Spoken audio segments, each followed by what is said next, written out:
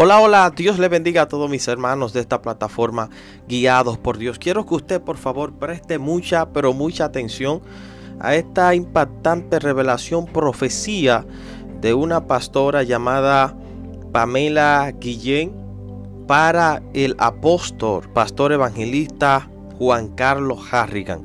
Así que yo, yo quiero que usted escuche, voy a querer que usted escuche detenidamente esta revelación, esta profecía. Y que usted ponga en los comentarios si hay intérpretes, sé que hay muchos intérpretes en las redes sociales, qué usted opina, qué usted piensa.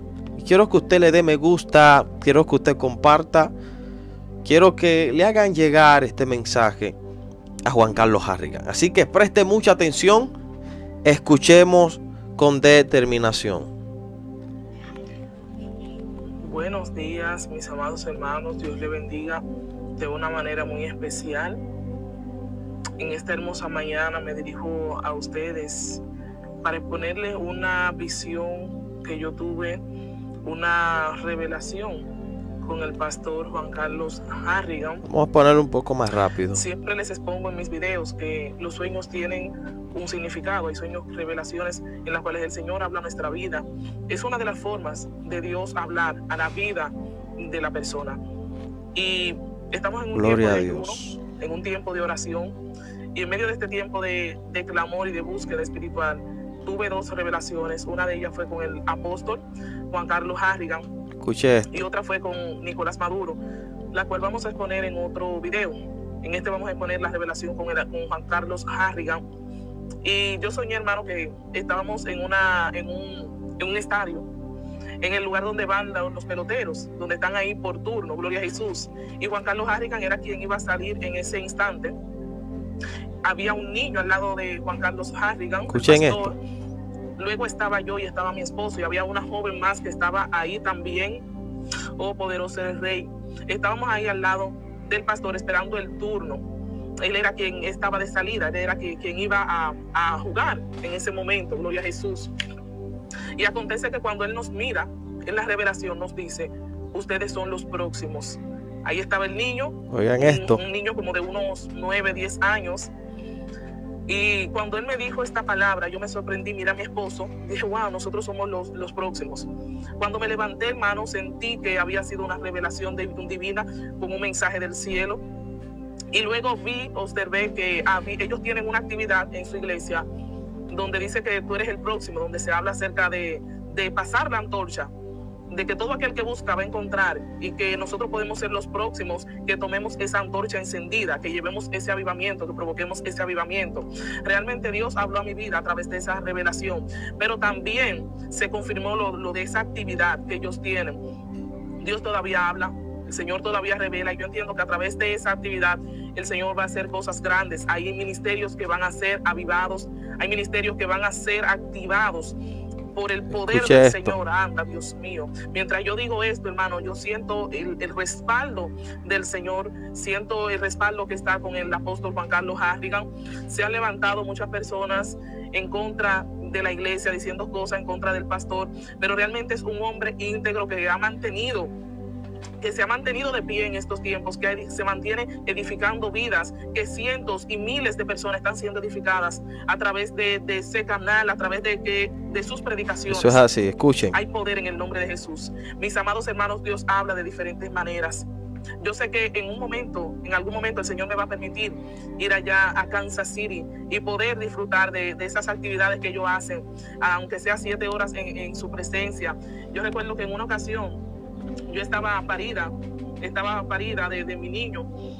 Y acontece que en ese tiempo yo no me podía congregar. Vamos a hacer una pausa breve. ¿Por qué ella da esta revelación a las redes sociales? Porque hay una ola de profetas evangelistas y muchos que no son de acá, de República Dominicana ni de Estados Unidos. He visto que estas personas son de Sudamérica. Y ellos como para tratar de encajar, tener sonido en las redes sociales, se montan en la ola de criticar atacar y decir que Juan Carlos Harrigan está en pecado. Entonces por encima de eso, ella dice, bueno, tengo que dar esta revelación, ya que están atacando tanto al apóstol Juan Carlos Harrigan, que él está en pecado, que él está en esto, que lo otro, que es un sinnúmero de, de cosas extrañas. Y aquí que ella dice, no, espérense, espérense. ¿Cómo es posible que a Dios, Dios a ustedes les revela una cosa y a mí me revela otra? A ustedes Dios les revela que está en pecado y a mí Dios me revela otra cosa. Entonces, ¿qué es lo que está pasando? Aquí hay un, mago, como decimos un buen dominicano. Yo creo fervientemente que Juan Carlos Harrigan, Señor, es un hombre de Dios. No es perfecto, como yo, no soy perfecto, ni usted que está mirando este video. No somos ninguno perfecto. Todos, todos fallamos y pecamos. La única diferencia es que unos son residentes del pecado ya, viven en el pecado, le sacaron papel al pecado. Hay otros que cuando pecamos reconocemos y nos levantamos y nos humillamos. Esa es la gran diferencia. Pero vamos a seguir escuchando. Y doy gloria a Dios por las redes sociales, porque sé que hay muchas personas en esa situación, mujeres paridas, personas que están inválidas, personas que están enfermas y no tienen la posibilidad de asistir a la iglesia por un momento, por un tiempo determinado, por su estado físico, por su condición de salud. Y yo recuerdo que lo único que yo podía hacer era congregarme por las redes sociales, veía los cultos, veía las prédicas, y en ese momento que yo estaba eh, eh, ahí en ese estado de eh, Gloria a Jesús, en ese estado de riesgo, yo recuerdo que solamente podía escuchar las prédicas a través de las redes sociales, a través de la plataforma de YouTube. Y una de las prédicas que más me impactó fue siete horas en su presencia. Ese congreso yo lo, lo, veía y yo sentía como si estuviera allí. Es un congreso que hace Juan Carlos Harrigan todos los años. es algo sobrenatural, señores. Lo que pasa ahí es histórico. Dios se mueve de una manera sobrenatural. La gente de Kansas, la gente de Estados Unidos, de diferentes estados, gente de México también viajan. O sea, del, mundo entero, personas viajan para ser testigo de lo que se mueve en siete horas en su presencia viví, hermano, viví eso, realmente recibí esa unción fresca del Espíritu Santo de Dios, recibí palabras, confirmaciones de Dios mientras yo estaba en ese estado de salud. Y yo sé que así mismo hay muchas personas que tienen diferentes condiciones, pero pueden congregarse por, esas, por esa vía. Y este es uno de los canales, hermano, este es uno de los medios que el Señor está utilizando para llevar su palabra a todo lugar, a toda Eso es así. Usted sabe los campos y los lugares que la palabra de Dios está llegando a través de las redes sociales. Está alcanzando cientos de personas a través de las redes sociales. Por eso nosotros tenemos que ser sabios, ser entendidos, saber qué, qué estamos llevando a través de las redes sociales. Ahora mismo hay muchas controversias. Mucha gente se levantan hablando de los demás, hablando, buscando fama, buscando like, buscando view. Déjeme decirle que Jesús nunca, nunca habló mal de nadie. La fama de él se expandió por el poder, por las señales que lo seguían. Y todavía hoy Eso es así, señor. tienen que generar controversia para ser conocidos. Hay gente que tiene que buscar la unción de Dios, buscar la unción para que la misma unción te va a exponer. La misma unción va a hablar de ti, va a dar testimonio, la gente te va a invitar. ¿Por qué? Porque el que porta la unción, aleluya, la misma unción lo expone. Y esto era lo que portaba Jesús. Esto es lo que nosotros tenemos que Eso es así, escuchen esto. La unción del santo y que si somos reconocidos, seamos reconocidos por lo que portamos de parte de Dios. Cada quien tiene algo, hay algo que Dios te entregó, hay una asignación, hay un llamado, hay dones que van a fluir. Gloria a Dios. Escuche esto, escuche esto. Presta atención. Conforme al propósito de Dios contigo. No es necesario generar controversia. No es necesario generar chisme, hablar mal, de los demás. No es necesario entrar en contienda para ser reconocidos. Wow.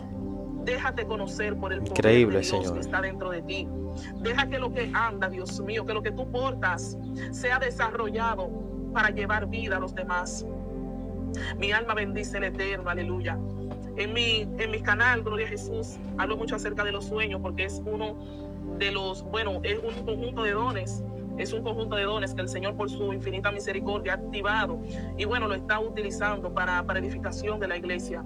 Hay personas que ignoran el significado de sus sueños y bueno, el Señor nos tiene fluyendo en esa área. Nosotros tenemos simplemente que obedecer al mandato de Dios, tenemos que obedecer lo que Dios dice. Y siempre les expongo que cuando tenemos una revelación con una gente de Dios, yo sé que mucha gente ha soñado con Juan Carlos Harrigan, mucha gente ha soñado con pastores reconocidos, han soñado con diferente gente de Dios. Y esto puede representar una figura que el mismo Dios está utilizando para llevar un mensaje a tu vida. O sea, es una figura que Dios utiliza. Oigan esto, señores. Puede ser un ángel que se te esté revelando en el sueño y que esté tomando la forma de un pastor o una pastora de Dios, una gente de Dios, un evangelista un profeta, y es que ese ángel, ese ángel o el mismo Dios, como una teofanía, se está colocando en esa forma en el sueño y que así tú puedas recordarlo. Exactamente. Pero también, también hay personas, hermano, que viven en oración, que viven en ayuno, en silicio, gente que, que andan en el espíritu y están haciendo un trabajo espiritual. Por eso tú lo sueñas más. Por eso tú, eh, o sea, esas personas son más vistas en sueño, más avistadas. ¿Por qué? Porque Oigan tienen esto. un contacto con el Señor directo. Tienen un contacto. Entonces están haciendo un trabajo espiritual muy fuerte y mucha gente lo sueña. Alabanza. Cada sueño tiene un significado. Algunos son por nuestra propia concupiscencia, nuestra propia conciencia, lo, que vivimos día tras día. Oigan Pero esto. que tienen un significado divino, espiritual. Y puede ser que Dios te esté librando de algo, puede ser que el Señor confirme algo en tu vida, que confirme una actividad, que confirme algo que tú tienes que hacer, que sea direccionado por ese sueño. Porque muchas veces le decimos, Dios mío, háblame.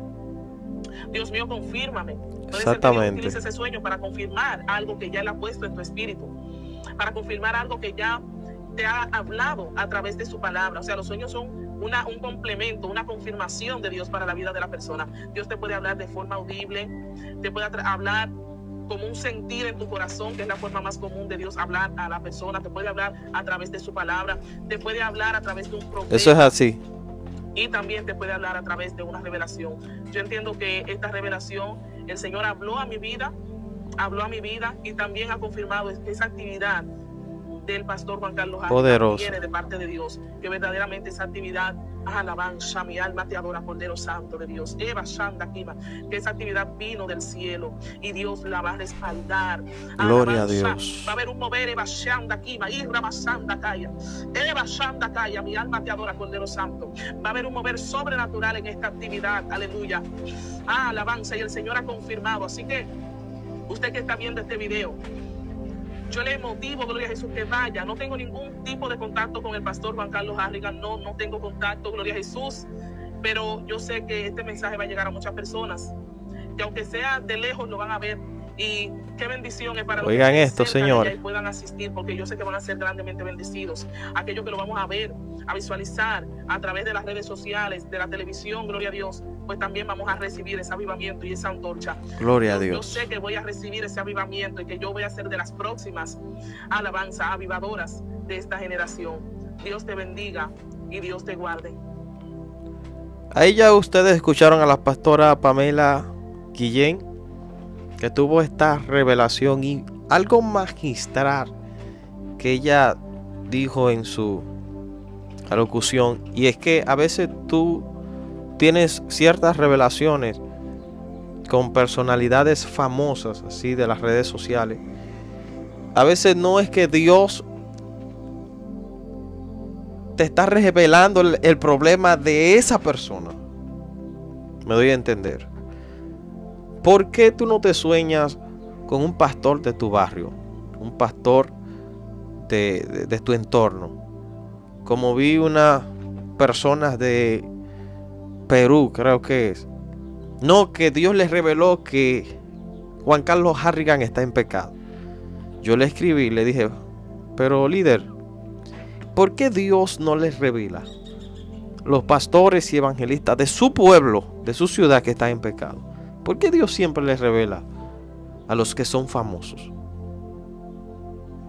He visto también en las redes sociales que se han viralizado videos de la muerte de Juan Carlos Harrigan. Todos los años, señor. Eso es todos los años. Veo, todos los años, repito, veo la misma película. Yo no entiendo verdaderamente. No entiendo cómo es que todos los años Dios revela que va a morir y no muere. Entonces, ¿quién es que está revelando? ¿Quién es que está hablando? ¿Alguien me puede explicar esto en los comentarios, por favor? La muerte de Yesenia Ten también. La muerte de, quién más? Guillermo Maldonado porque está en pecado. Lo primero que le voy a decir, quizá hay mucha gente que me va a criticar con esto, pero Dios no quiere la muerte del impío y eso lo dice la Biblia. En dado caso que ellos estén en pecado, Dios no va a querer matarlo. Ahora, hay casos, hay casos que ya son de otro índole. Una excepción, donde hay gente que están acostumbrados ya a caminar en el pecado y, le hacen daño a la iglesia, porque hay gente que pecan y le hacen daño o sea, ellos mismos se están haciendo daño, su relación con Dios está afectada y bueno, te vas a perder lamentablemente porque tú te estás destruyendo tú mismo. Pero cuando tú destruyes a otros, cuando tus pecados sirven de tropiezo para otros, es ahí donde Dios toma decisión y te corta. Pero Juan Carlos Harrigan, hemos visto que ha tenido una vida señores, diferente. Ok, se puede decir muchas cosas de muchos pastores internacionales, de lo famoso. Muchos son adinerados, muchos son eh, aprovechadores de la fe, otros son, como dijo un apóstol, amigo mío, el apóstol Andrés, cazadores de ofrendas, verdad. Pero cuando yo analizo el ministerio de Juan Carlos Harrigan, me doy cuenta de algo. Juan Carlos dijo que él parece que su sueldo, el sueldo que le, le da la iglesia, porque okay, es una iglesia grande, una iglesia próspera que entra mucho diezmo, mucha ofrenda.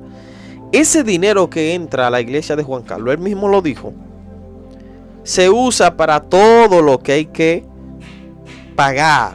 Señores, tener una iglesia ser pastor es una responsabilidad bastante grande.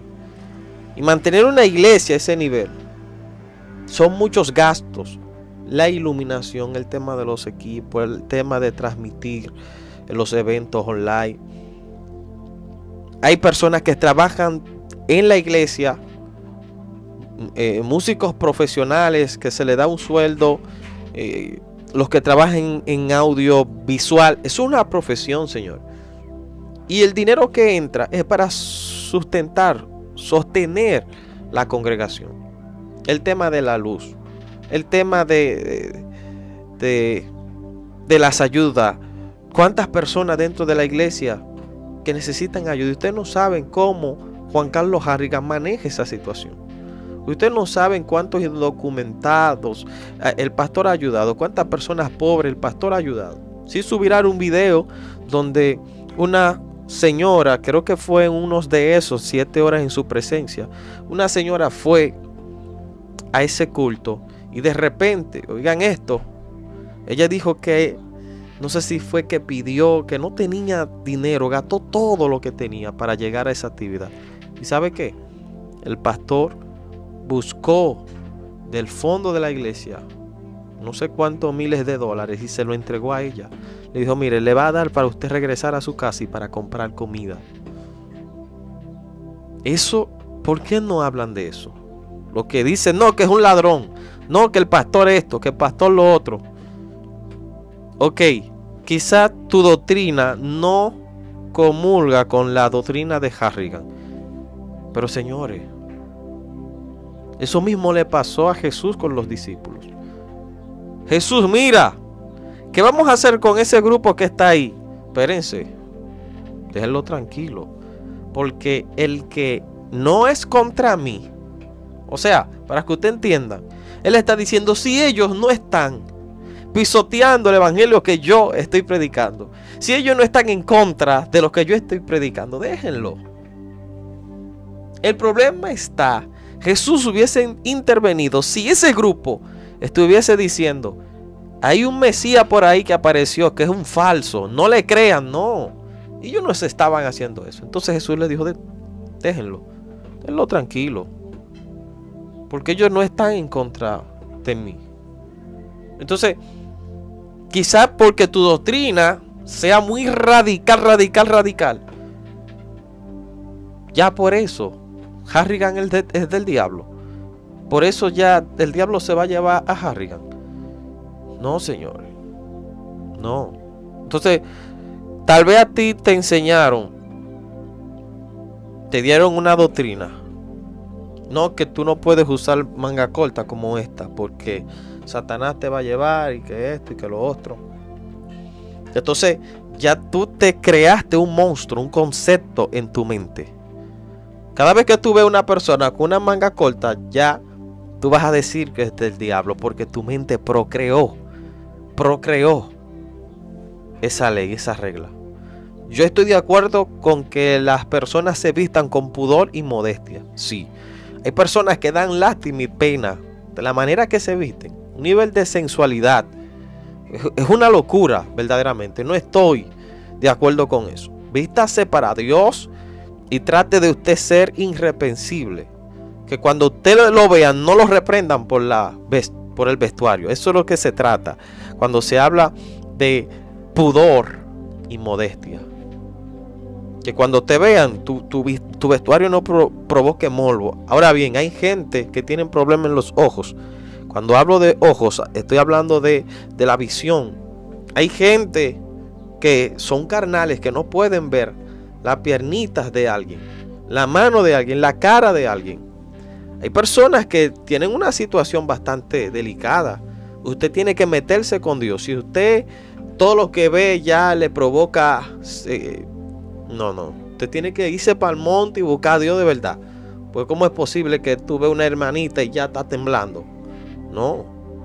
Hay muchas hermanas que se visten un poco extraño. Sí, tienen que... Espérese, vístase. Eh, ese volumen está muy exagerado. Trate de de cuidar esos hermanitos. Pero hay otros hermanitos y hermanitas que tienen que meterse con Dios y darle, machacar la carne porque todo lo que ven ya le provoca morbo y pecado. Entonces, vamos a ser realistas. Vamos a cortar para acá, pero también vamos a cortar para el otro lado. Entonces, Juan Carlos Harrigan, como les decía, es un hombre que no se aprovecha de su iglesia. Y yo le voy a hacer un llamado a todo el que dice que los pastores se están enriqueciendo. Monta una iglesia. Y hazte rico. O sea, es fácil. Tú alquilas un lugar, habla con tu pastor y dice que Dios se te, se te apareció, que Dios se te reveló. Es fácil. Alquila una marquesina, no sé, busca a dos o tres gente y comienza a pastorear. Comienza a pastorear y hazte rico. Todo el que dice que se están haciendo ricos los pastores, que tal vez sí, hay muchos en otros lugares que se están enriqueciendo. Porque en la viña del Señor hay muchas. Es algo que no se va a controlar. Es verdad.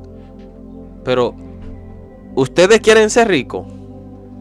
Monten una iglesia y ustedes van a ver. Si ustedes son pastores de verdad, lo que implica tener, sustentar una congregación.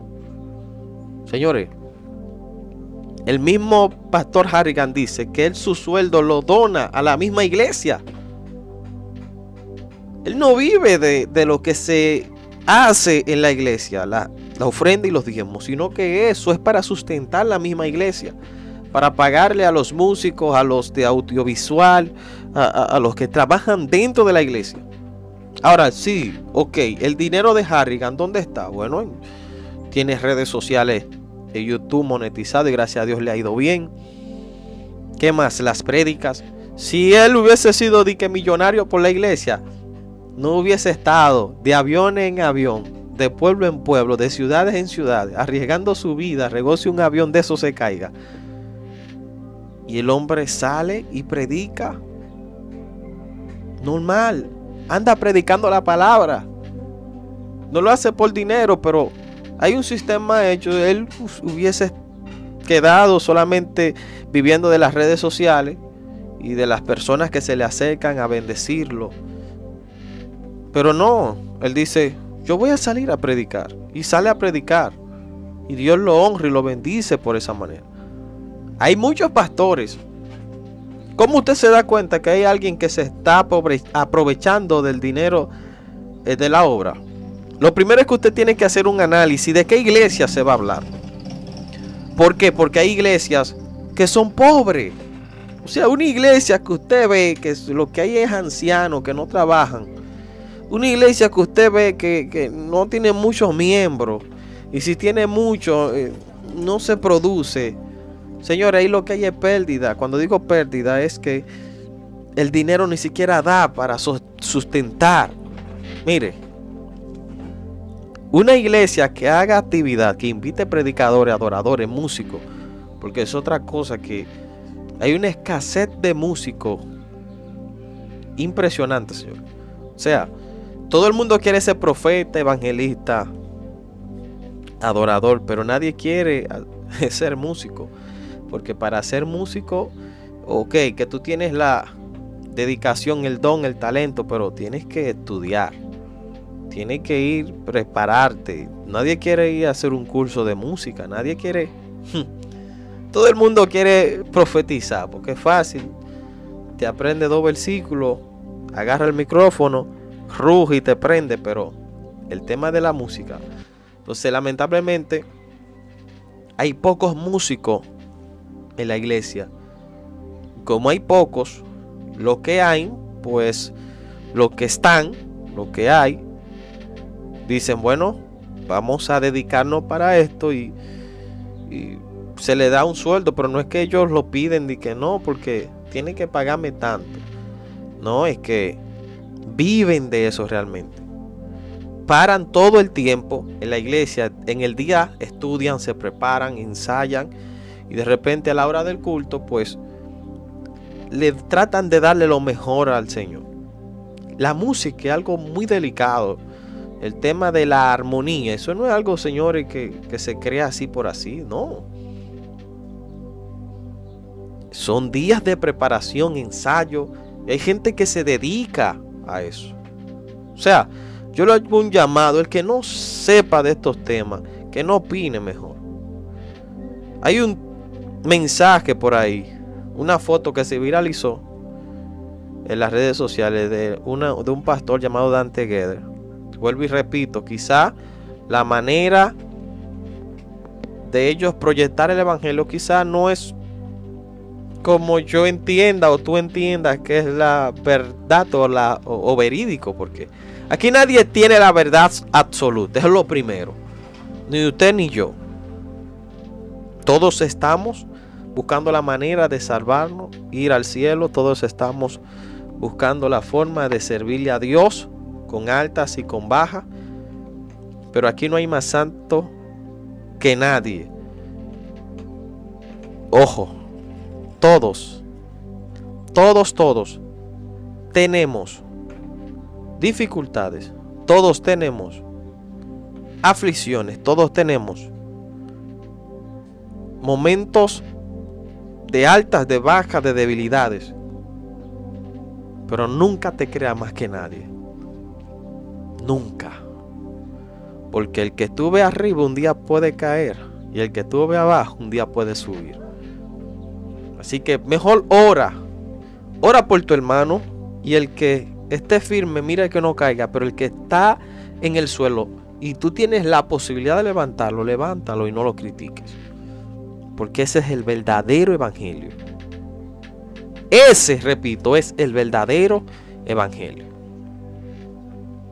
Y yo quiero que por favor usted entienda que los hombres de Dios con trayectoria, yo respeto a esta gente.